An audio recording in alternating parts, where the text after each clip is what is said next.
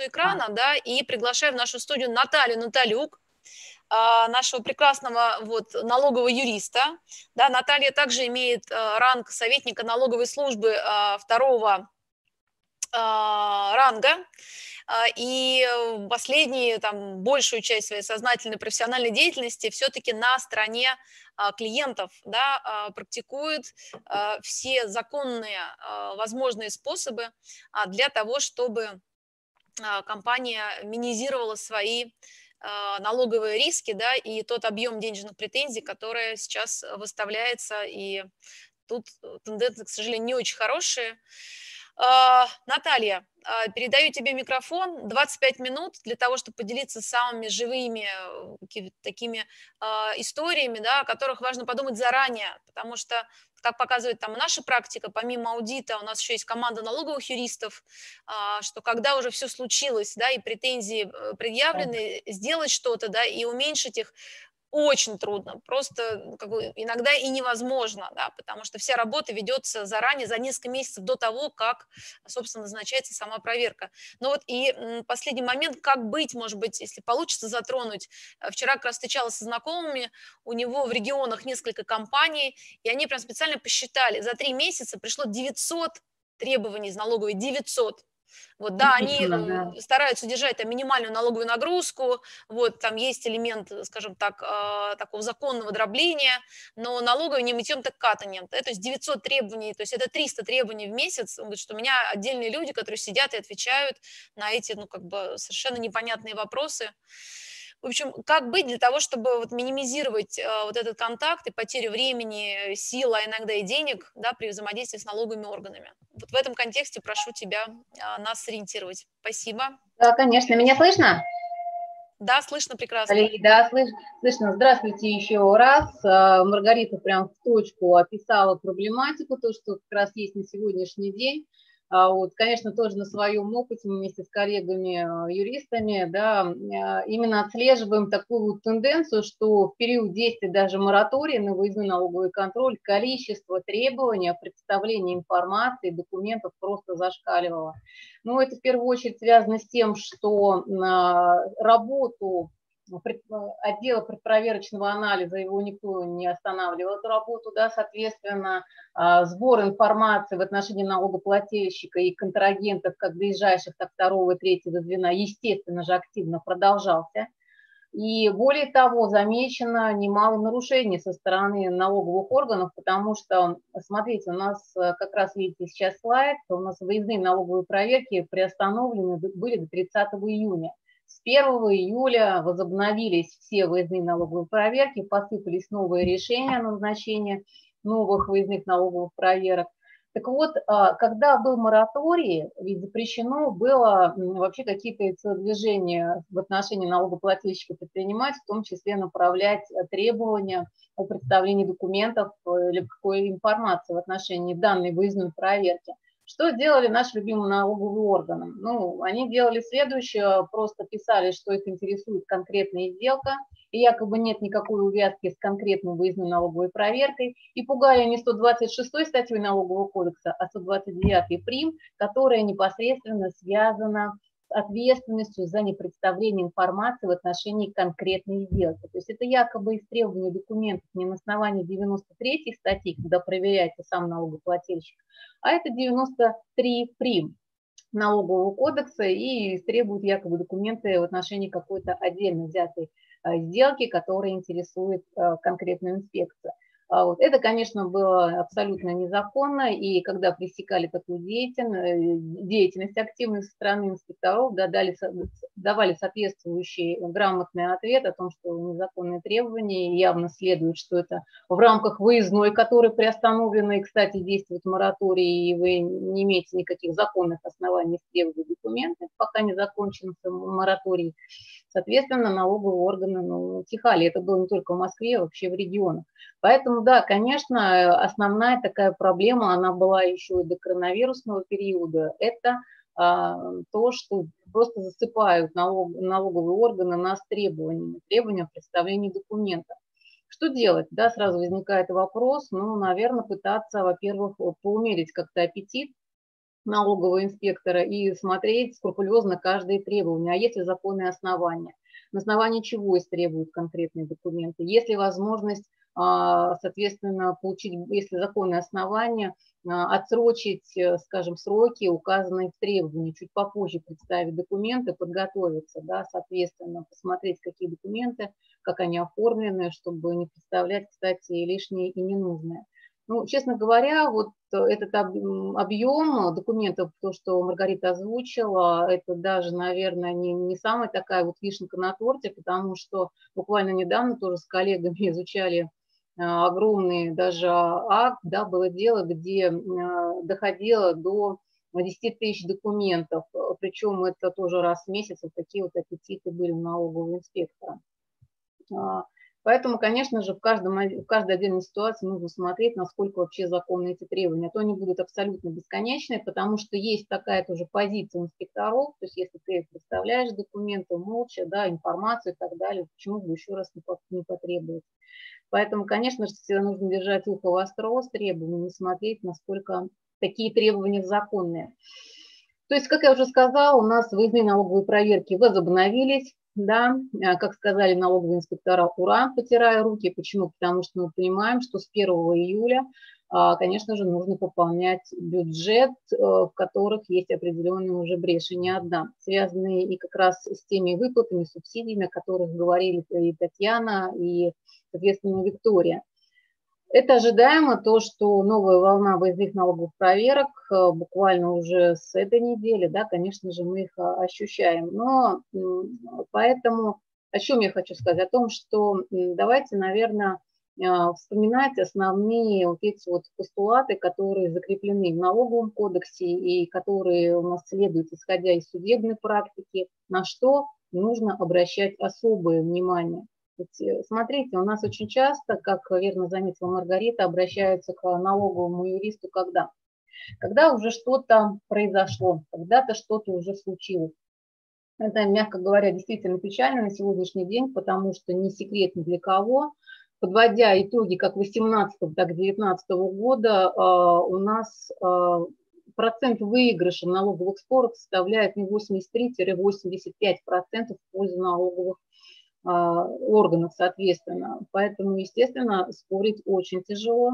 Да, есть победы, есть чем гордиться, но тем не менее достается действительно кротом, кровью, извините, и потом. Поэтому, конечно же, логично было вообще, скажем так, опережать налоговые органы да, непосредственно. А, и насколько это возможно, часто задают мне вопросы. Действительно, есть такая возможность, э, есть а, возможность выйти из зоны налоговых рисков заранее, то есть превентивные меры, как мы часто говорим, да, перепроверять, что у тебя за прошлые года. Ведь вспоминайте 89-ю статью а, налогового кодекса, которая говорит о чем? О том, что какой период охватывается выездной налоговой проверкой? Три года, предшествующие году внесения решения. То есть если в 2020 году, не дай бог, выносится решение о назначении проверки, у нас проверяется 17, 18, 19 и могут текущие. То есть вот те года, они должны быть э, чистые, их нужно обязательно смотреть, чтобы не было таких явных красных тряпок, которые бросаются в глаза. Так что же это за красные тряпки?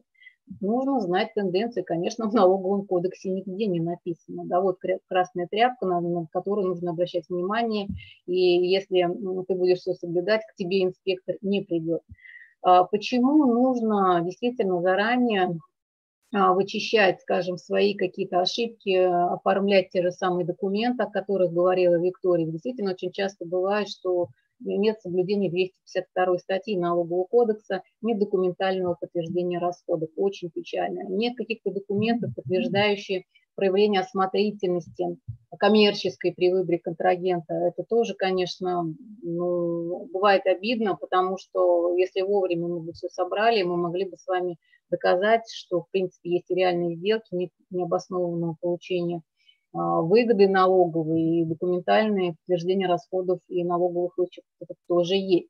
Так вот, а, давайте сначала обозначим, что касается, опять же, а, проблематики взаимоотношений с налоговыми органами, тренд так называемый. Он связан с тем, что налоговые органы пытаются на сегодняшний день, да, наверное, на протяжении 2019 года, пополнять бюджет даже не путем проведения кавиральных, выездных налоговых проверок, а очень понравилось налоговому органу подход добровольного, в кавычки бы я взяла, уточнения налоговых обязательств. То смотрите, помимо того, что засыпают нас требованиями, еще и засыпают так называемыми письмами, пугалками, мы их так еще называем, письмами уведомлениями о том, что необходимо уточнить налоговые обязательства по налогу на прибыль, либо уточнить э, налоговые обязательства по НДС в связи с тем, что выявлены были путем АСК, допустим, НДС, если речь об НДС, а, факты неуплаты налогов контрагентов, причем прямых. Да? Поэтому ты, как налогоплательщик, работая с такими контрагентами, обязан а, заплатить за них бюджет, будем говорить так. Поэтому уточнить, да, то есть расходы снимать по сделкам с этим якобы по этим конкретно контрагентам проблемным, или, соответственно, налоговые вычеты. Если ты это не сделаешь, мы придем к тебе с выездной. Эта тенденция началась еще, наверное, даже с конца 2018 года, но в 2019 году, во втором полугодии, и сейчас, конечно же, мы особо активно это видим. Что здесь делать? Ну, здесь делать ну, здесь два варианта. Если, конечно, вы чувствуете, что действительно среди контрагентов есть и подконтрольные компании, фирмы однодневки, возможно, конечно, где-то нужно уточниться, потому что риск назначения тематической выездной налоговой проверки за конкретный период по конкретному налогу вполне вероятен. Это подтверждается практикой как прошлого года, так и текущего до коронавирусного периода. Что касается э, добросовестного налогоплательщика, если чувствуете, что у вас есть соответствующие документы правильно оформленные, и есть документы и мероприятия по проверке контрагентов на коммерческую осмотрительность, ну, тогда можно смело, да, как мы тоже с а, клиентами работаем, да, доказываем, что нет оснований для добровольного уточнения, поскольку 81 статья налогового кодекса говорит об уточнении налоговых обязательств добровольно, да, если я считаю, что действительно есть такая необходимость. Поэтому, конечно, да, нужно всегда, еще раз говорю, держать ухо восток, как с требованиями, так и вот с такими письменными уведомлениями о, с просьбой, да, с некой такой настойчивой уплатить сумму в бюджет соответствующую. А, что касается а, важных моментов, более существенных, э, связанных с налоговым кодексом, это, конечно же, статья 54 прим. налогового кодекса, которая посвящена у нас а, скажем так, по необоснованной налоговой выгоде. Это то, что нужно знать обязательно буквально каждому финансовому директору, директору, наверное, руководителю, бухгалтеру в том числе, конечно, тоже. То есть смотрите, у нас все сделки с нашими контрагентами пропускаются сквозь призму статьи 54.1 НК, потому что это обязаловка для каждого инспектора. Любую сделку проверяют на предмет наличия умысла в неуплате налогов, если такие следы. Вот умысел вообще это страшная вещь в плане того, что это не только компания получает 40% вместо 20% за неуплату налогов по части 3 статьи 122 НК РФ, это еще перспективное уголовное дело за неуплату налогов, в частности по статье 199. Вообще я хочу сказать, что вот осматривала очень активно на практику по привлечению к уголовной ответственности даже в период действия моратория на выездные налоговые проверки, она меня очень опечалила, потому что количество дел, когда реально присуждают сроки, э, суммы до начисления, они просто колоссально выросли вот за три месяца.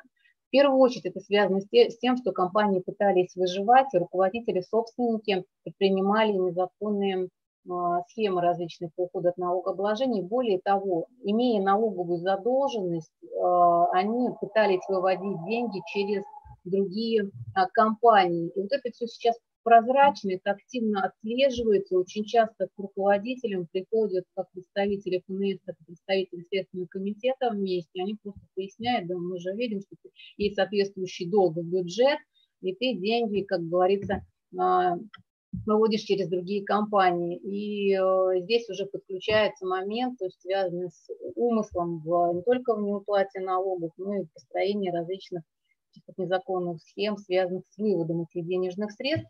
И э, здесь речь идет о три громких э, дела, три компании, э, знаю, что на Урале, северо-западный район и в центральном районе – Суммы начисления составили 63 миллиона, соответственно, 150 и 200 миллионов рублей, привлечение к уголовке. Э, и со сроком даже реальные сроки лишения до трех лет, вот совсем недавно. Поэтому, конечно же, понятно, что нужно выживать в такие тяжелые времена, но именно погружаться в какой-то схематоз, да, я, конечно, крайне не рекомендую, потому что слишком все сейчас прозрачно и вычисляется просто на ура, а и Следственный комитет, и налоговые органы сейчас, конечно, работают активно для выполнения своей отчетности.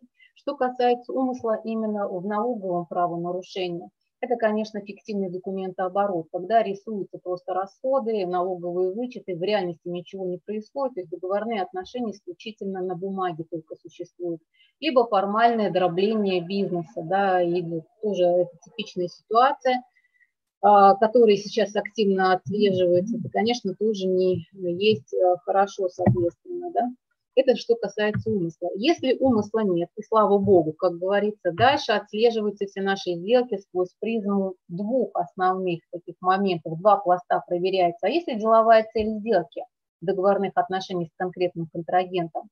И вообще в реальности что происходило? Тот ли контрагент, который заявлен в документах, выполнял себе работы, оказывал услуги, да, соответственно, поставлял товары, или кто-то другой, это тоже самое важное, на что нужно обращать внимание и, наверное, периодически задавать себе вопросы, какова деловая цель и что происходило в жизни. Потому что именно так э, налоговые инспектора на сегодняшний день э, проверяют, что же происходило в жизни и в реальности в конкретной компании. То есть наличие деловой цели, надо быть готовым, да, какова была деловая цель. То есть инспектор всегда видит необоснованную налоговую выгоду в конкретной сделке он будет давать цель. А какова была деловая цель, помимо налоговой?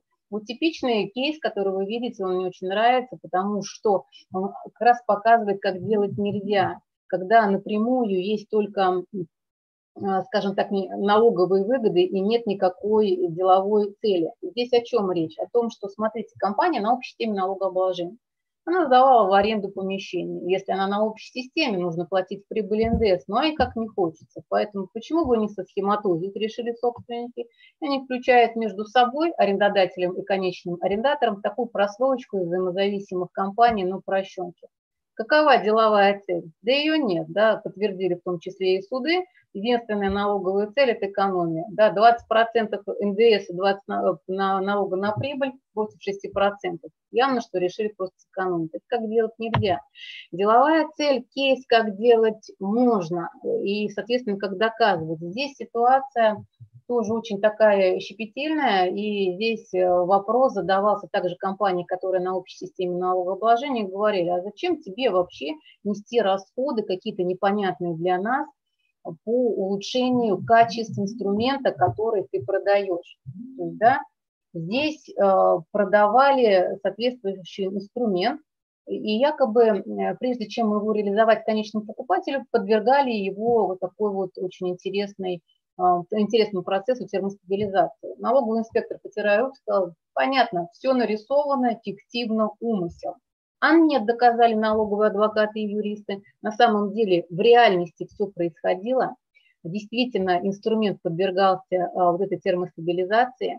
Компании, которой контрагент не понравилась налоговому инспектору, она действительно в реальности все это могла сделать. И более того, самое основное, да, улавливаем, деловая цель. Для чего мне нужно было инструмент свой подвергать этой термостабилизации? Для того, чтобы улучшить его качество. А для чего? Для того, чтобы была эксклюзивность определенная, да, и прочность моего товара, не как у всех остальных. И покупатели подтвердили в своих показаниях, как свидетели, о том, что действительно в моей компании это скажем, инструмент более качественный, нежели у других. Они пробовали, покупали, но он быстро ломался. Вот в, в основе лежит деловая цель. А уж если я еще получила какую-то налоговую выгоду ну, в виде того, что расходы, да, там у меня уменьшение налогооблагаемой базы в связи с расходами и так далее, но извините, это уже в рамках действующего законодательства. Вообще сейчас очень активно исследуется это третий пункт, связанный со стороной договора. Ну, типичная ситуация, с которой практически каждый сталкивается на сегодняшний день. Когда а, мы работаем с какой-то компанией, давно, допустим, слаженно, они говорят, давай вот следующий транш, соответствующую поставку а, допустим, да, а, я тебе все отгружу, но оформим документально там вот на О Ромашку или по Ивану. Ну, как бы все же нормально будет, товар получишь. Я получаю товар живу прекрасно до того момента, пока не приходит инспектор. Приходит инспектор, он же опять сквозь призму 54.1, и что он видит? Он говорит, ну, здесь же чистой воды не соблюдение. То есть тебе поставить товар тот, кто указан в договоре, в принципе не мог потому что у, у Ромашка или П. Иванов, он в принципе, у него нет никаких ресурсов, ни транспортных средств, ни работников. И товар-то он вообще нигде не приобретал, нет соответствующего закупа, откуда, что тебе воздух привозил.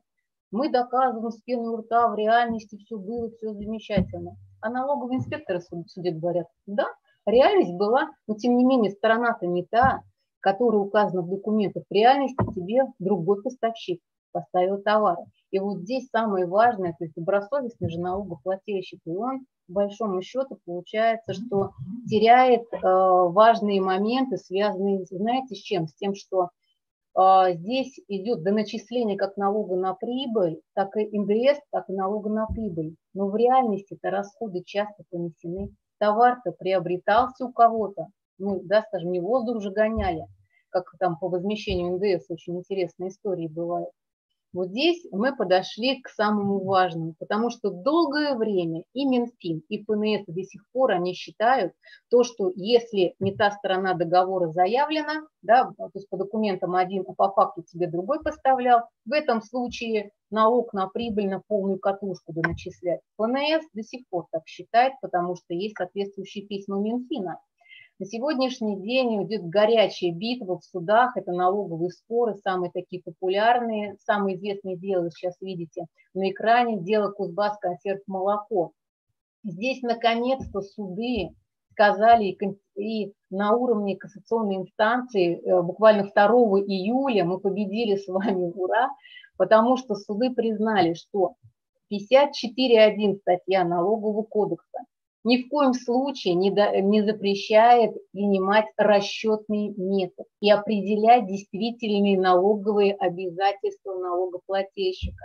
То есть да, были договорные отношения с каким-то непонятным контрагентом, который в реальности ничего не поставлял, как в этом деле молоко.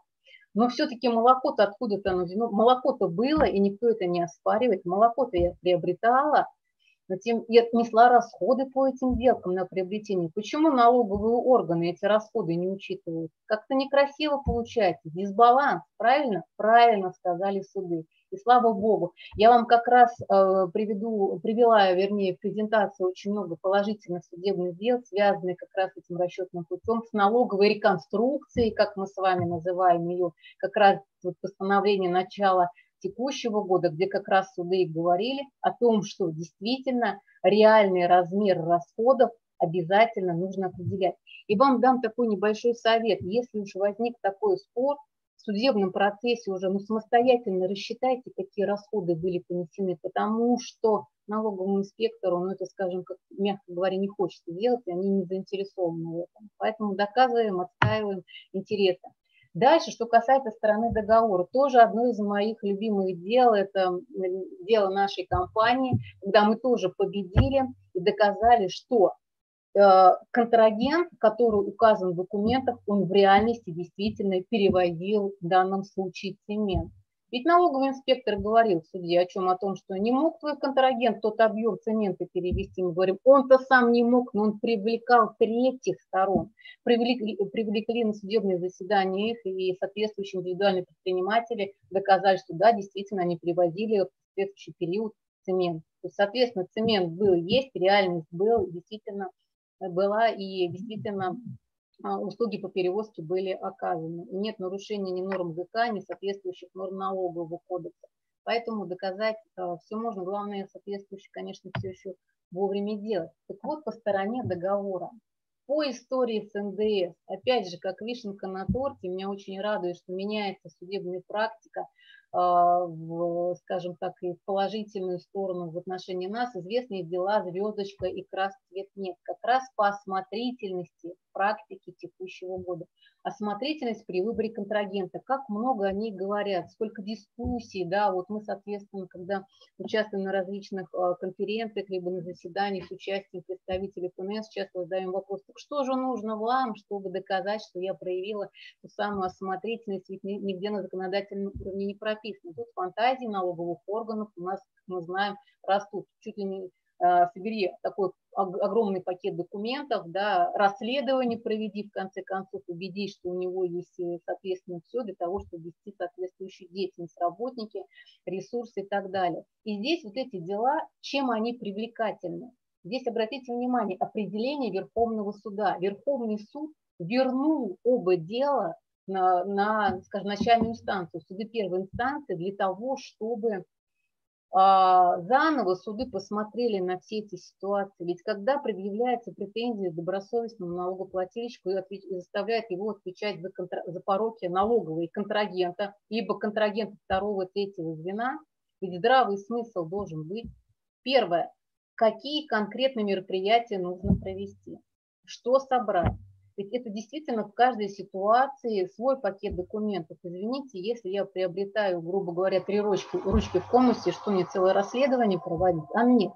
И здесь самый важный такой вот акцент, что суды наконец-то сказали, что в каждой индивидуальной ситуации проверяется именно здравый подход предпринимательский, коммерческий, как правильно проверять этого контрагента. Что ты собираешь, да, ну да, ресурсы, сведения в ЮГУРЛ, да, то есть есть какая-то а, соответствующей репутации, рекомендации. Вот этого бывает достаточно для того, чтобы в конкретной ситуации, в конкретной сделке говорить, что достаточно проявлена должна осмотрительность. И второй самый важный момент, ведь когда претензии предъявляют в отношении контрагента второго, третьего звена. Почему мы, как добросовестные налогоплательщики, должны с вами страдать? В части НДС в том числе, ведь нам говорят, корзина-то не создана в бюджете для того, чтобы ты претендовал на налоговые вычеты и возмещение. Так вот, мы, как с вами всегда и говорили, и сейчас, слава богу, суды услышали, и тоже говорят то же самое о том, что может, налогоплательщик отвечать за незаконные действия, скажем так, в налоговом управе а, контрагента второго, третьего звена, только в том случае, если доказана подконтрольность, связь, силу взаимозависимости либо аффилированности, проявляемого налогоплательщика с этими контрагентами. Возврат денег и так далее, то есть для чего-то цепочка какая-то лишняя, звенья вот эти создавались только тогда. Вот это очень важно на сегодняшний день, конечно, знать подробности известного дела «Звездочка» вот по как раз, а, а, скажем так, действительно определение, что из себя представляет коммерческая осмотрительность, я попыталась вам изложить, кому интересно, посмотрите. И как раз мы с вами а, подошли к такому тоже важному моменту, что касается ответственности. На сегодняшний день, что касается налоговых вот этих проверок, что нас в первую очередь пугает? Пугает руководителя, пугает э, собственника и, конечно же, бухгалтера. Это субсидиарная ответственность. Помимо уголовной ответственности, о которой мы с вами говорили в начале, за неуплату налогов, еще субсидиарка у нас ФНС практически элитный кредитор, потому что а, часто, если основная вот сумма долга – это непосредственно налоги в бюджет, задолженность, ФНС что делает? Пытается банкротить компанию и, а, и в рамках банкротства искать э, контролирующего должника лицо. Кто это чаще всего бывает? Да? Ну, у нас же не написано КДЛ. Кто КДЛ? Это может быть руководитель. По практике, в большей части это руководитель. Либо руководитель-собственник в одном лице, это практически на первом месте, на втором собственник, директор чаще, директор, да, и э, очень много бухгалтеров, особенно 19-20 год, они ознаменовались тем, что много а, действительно дел, связанных с субсидиарной ответственностью за неуплату налогов в отношении главных бухгалтеров. Одно из таких дел, вы как раз видите, 97 миллионов рублей собственник, руководи, э, а, директор и бухгалтер будут соответствующие платить здесь. Да, вот как раз такие вот э, моменты, они а, есть.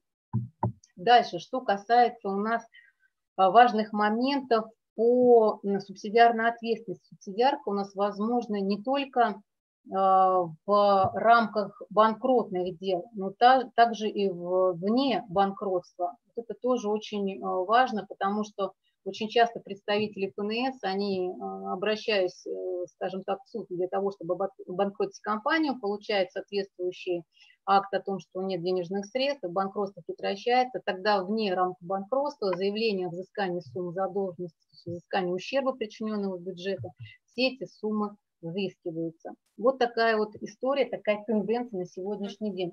И субсидиарка еще, как вишенка опять на торте, субсидиарка переходит по наследству. Очень много таких дел, судебной практики, часто с позиции Верховного суда, то, что с наследников даже можно взыскать, да, причем, что мне очень не понравилось, как раз суды сказали, что взыскивать налоговый долг с наследников, ну, то есть вот КДЛ умер, к сожалению, да, печальная такая история Наталья, была.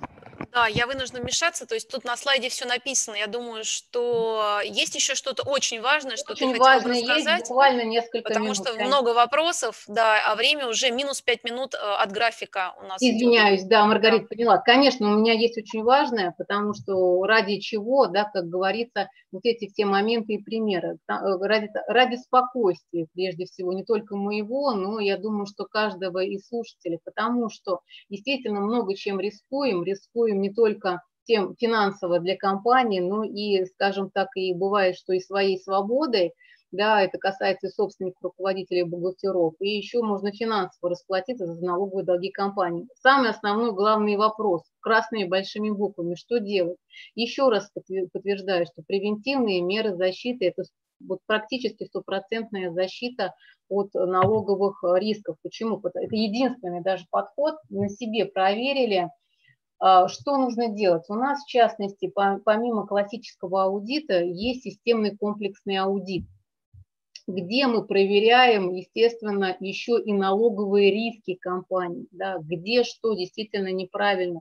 И что самое важное, проверяя, то есть это нужно делать своевременно, если есть возможность подать, уточниться что-то свои обязательства, мы это делаем. То есть нужно делать все своевременно. Сейчас все абсолютно прозрачно и видно, и задним числом ну, не получится. Нужно делать вовремя. У нас очень много действительно хороших таких примеров, когда используя системный комплексный аудит, э, риски, они минимизируются абсолютно, в разы сокращаются, теряется интерес вообще к компании как к объекту для того, чтобы проверить в рамках выездной налоговой проверки, да, или, соответственно, а, есть существенные моменты по снижению риска в ходе даже назначения выездной проверки. Тем более, что если в системном комплексном аудите, у нас там вот самая важная особенность, буквально пару слов, связана с тем, что мы поэтапно проверяем, в квартал приходим, смотрим, что было, что произошло, для того, чтобы своевременно предпринять меры, вылечить, да, скажем, те моменты, которые есть а, нездоровые в компании. Все это делается своевременно, чтобы иметь соответствующее здоровье налоговое в будущем и не бояться выездного налогового контроля. Все можно сделать, все в наших руках, и, соответственно, мы, компания Проест Аудит, не только аудиторы, но также налоговые юристы и консультанты готовы в этом помочь. Поэтому я Uh-huh. Надеюсь, что либо комп... меня услышат на самом деле, да, вот эту вот боль, либо своими силами, либо с привлечением, в том числе и нашей компании, мы готовы своевременно выявлять вот эти вот негативные моменты и искоренять зло, связанные с выездным налоговым контролем, субсидиаркой с уголовкой. Спасибо, вот да, Наталья.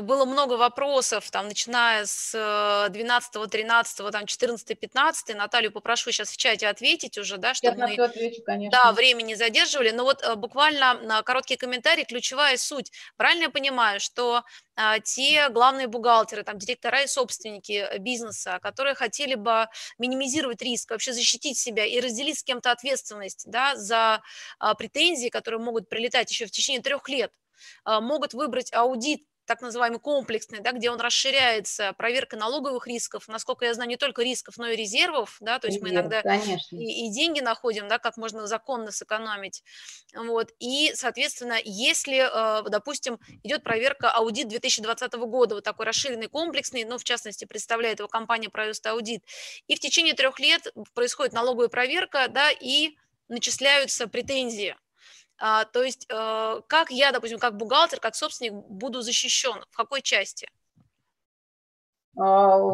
Той части, что, то есть, смотрите, если претензии будут незаконными, в первую очередь, естественно, мы как налоговые юристы их отбиваем в суде. Говорим, то есть, что первый блок, да, в договор включается защи... бесплатная защита налоговыми налоговых юристами, да, на те обоснованные верно. претензии, там, потому что сама проверка может длиться до полугода, иногда и больше, да, и это иногда да. действительно дорогостоящее, но помимо Очень. того, что это ваше время, да, клиента, еще и нанимать там э, юристов и там за каждый час, за каждый там выезд, опрос, допрос, да. ответ, там возражение, значит, нужно платить деньги.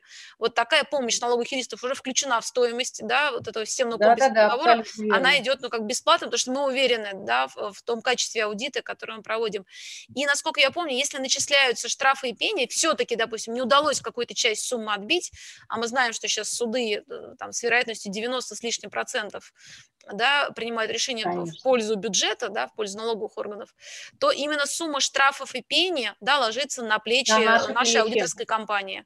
Этим да. мы отличаемся, мало кто на это идет, кстати. Да, да, да, это, вот я не видела таких еще предложений на рынке. То Единственные, мы... да, пока только задумываются. Я думаю, что это как раз эксклюзив в том, что мы, я говорю, в одной лодке, штрафы и пени тогда за наш счет будем Да, говорить. да, и, соответственно, сумма штрафов и пени, для этого у нас есть страховая компания «Ингустрах», которая наш партнер, с которой есть расширенная страховка также, да, что даже без суда и следствия, если вот первая мера защиты и отбивки, да, тех претензий, которые возможно можно отбить, не э, возымела стопроцентного результата, да, какая-то часть осталась, штраф и пени, вот, то как раз э эту часть э, полностью покрывает страховая компания, даже в досудебном порядке, вот, да. Э, чтобы минимизировать все эти моменты. Спасибо огромное, Наталья. Да, у нас остался последний спикер, э, тоже как бы очень интересно и важно, как раз как находить резервы.